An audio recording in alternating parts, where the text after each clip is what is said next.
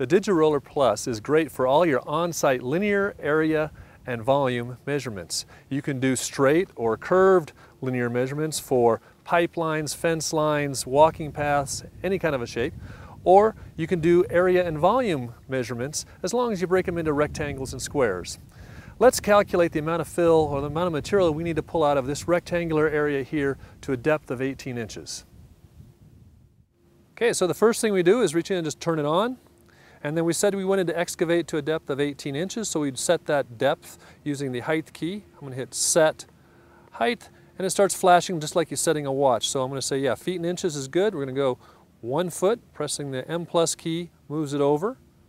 Hit set, and now let's go six more inches. Two, three, four. So now our depth is set for one foot six inches, so we're good to go. I'm gonna clear the display and hit start, and now we're ready to roll.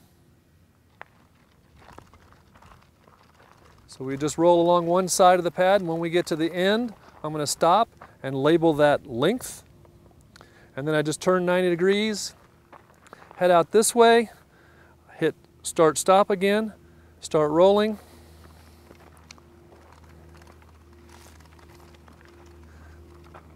When I get to the end, I'm going to call that the width. And now I can press length times width. There's our square footage, 221 square feet. And now I can press length times width times height and find that we need about 12.3 cubic yards of material to come out of this site. So that concludes the demonstration on the linear area and volume example. For more details, check out our user guide at www.calculated.com support.